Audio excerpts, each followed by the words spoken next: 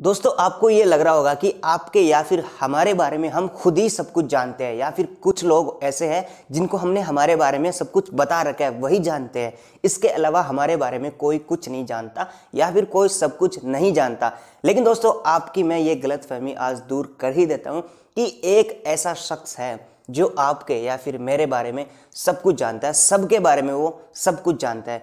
तो उस शख्स का नाम है गूगल जी हाँ दोस्तों गूगल आपके बारे में सब कुछ जानता है। जितना आपको खुद को नहीं पता अपने बारे में, उतना गूगल को पता है। और ये मैंने रियलाइज़ किया है। अब आप ये सोच रहे होंगे कि भाई गूगल को कैसे पता? गूगल को मैंने बताया नहीं, या फिर सब कुछ कैसे पता गूगल को? तो दोस्तों, आज के इस वीडियो में मैं यही बताने वाला हूँ पहले तो कि गूगल को आपके बारे में क्या क्या पता है क्या क्या जानता है। उसके बाद कि गूगल आपको, गूगल को कैसे पता चलता है आपके बारे में क्योंकि हम तो खुद चला के उसको बताते नहीं। उसके बाद मैं आपको ये बताने वाला हूँ कि गूगल क्या हमारे इस डिटेल का मिस यूज़ कर सकता है क्या? क्योंकि गूगल को तो सब पता रहता है।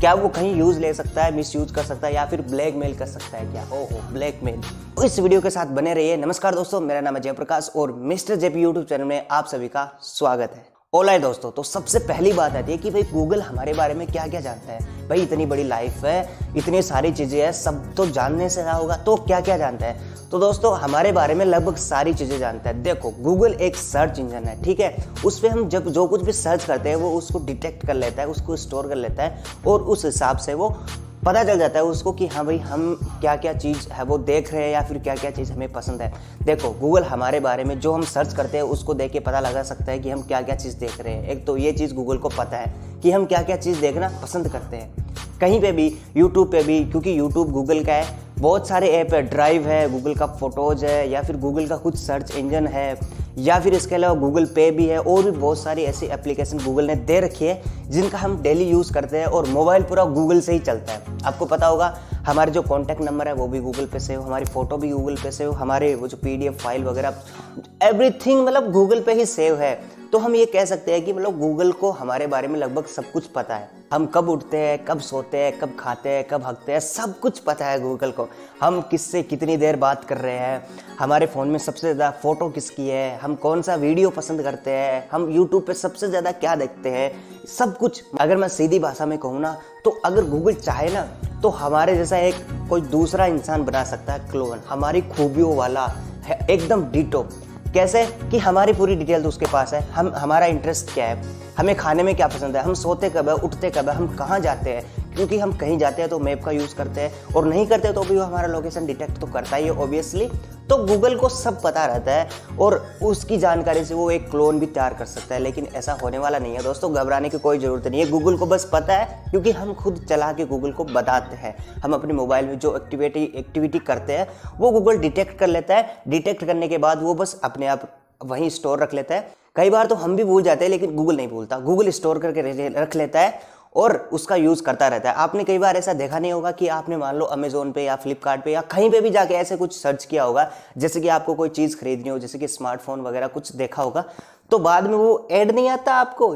कुछ भी चलाते हो तो सामने नहीं आता वही मोबाइल तो बस वही है गूगल आपके इंटरेस्ट को स्टोर इसलिए करता है ताकि उसको अपना प्रचार करना है, उसको अपनी सेलिंग बढ़ानी है, पैसे कमाने हैं, बस यही रीज़न है। अब बात करते हैं कि गूगल को ये सब कैसे पता तो ये तो क्लियर हो ही गया आई थिंक कि गूगल को कैसे पता, क्योंकि हम गूगल की सारी एप्लीकेशन यूज़ करते हैं गूगल का सर्च इंजन यूज़ करते हैं, और गूगल के ऐसे बहुत सी चीज़ें हैं जो यूज़ करते हैं, जैसे कि गूगल का पे भी यूज़ करते हैं हम गूगल पे है, या फिर गूगल फ़ोटोज़ ड्राइव बहुत सारी चीज़ें वो यूज़ करते हैं तो उस वजह से वो गूगल है, वो वहाँ की सारी डिटेल उठा के हमारे इंटरेस्ट को जान लेता है कि हमें मतलब क्या पसंद है, खाने में क्या पसंद है, कहाँ जाते हैं हम, क्यों जाते हैं, किस टाइम जाते हैं, या फिर हमें कौन सा म्यूज़िक पसंद है, ऐसा सब कुछ गूगल जान दे देता है हमारे सर्च करने से या फिर हमारे डेली की एक्टिविटीज़ को देख के। यही रीज़न है कि गूगल हमारे बारे में जानता है, क्योंकि हम गूगल की ही चीज़ें यूज़ करते हैं और गूगल पर ही सारा काम लगभग करते रहते हैं।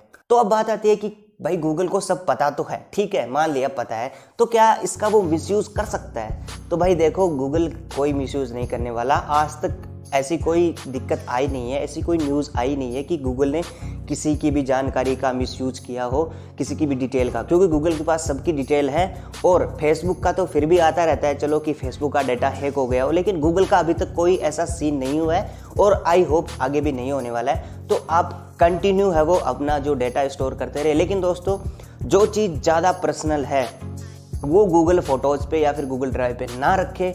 क्योंकि गूगल तो कुछ नहीं कर सकता, लेकिन अगर किसी से आपकी दुश्मनी हुई और वो छोड़ा मोड़ा, ऐसे तुझ पूछा हैकर हुआ, सड़क छाप तो वो आपकी डिटेल ले सकता है, क्योंकि ऑनलाइन ऑनलाइन जो स्टोर है, उसे निकालना मुश्किल नहीं है, कोई भी निकाल सकता है। इसीलिए मैं आपसे यही कहना चाहूँगा लो पास आके कह दूँ कि अपनी कोई भी इम्पोर्टेंट चीज़ है, बहुत ज़्यादा पर्सनल समझ रहे हो, समझ रहे हो? वो गूगल पे अपलोड ना करें, वहाँ से कभी भी निकल सकती है। इसीलिए आप मेरी बात कान खोल के सुन लेना एक बार और। कोई भी रिकॉर्डिंग है या फिर कोई भी photo video personal Google drive पे या फिर गूगल फ़ोटोज़ पे ना रखे, कभी भी चोरी हो सकता है। गूगल नहीं करेगा, लेकिन कोई और चोरी कर सकता है। ये बात याद ज़रूर रखना। सुन लिया ना सबने? नहीं सुना? एक बार और कहूँ, चलो वीडियो रिपोर्ट रिपीट कर लेना। जिसने सुन लिया, वो बोर होके कहीं भाग ना जाए।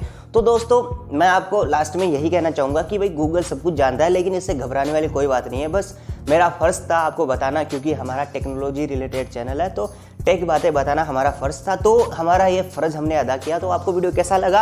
हमारी जानकारी इन्फॉर्मेशन कैसे लगी? आप हमें लाइक करके ज़रूर बता देना। कमेंट करके ज़रूर बता देना। अगर कोई चीज़ छूट गई हो, गलतियाँ तो मैं बहुत करता हूँ। और ये जानकारी कैसे लगी, वो भी कमेंट करके ज़रूर बता देना। अगर आप हमारे चैनल पर नए हो तो चैनल को सब्सक्राइब करके पास वाला बेल आइकन दबा देना। बस दोस्तों, मैं मिलता हूँ आपको अगले वीडियो में। तब तक के लिए बाय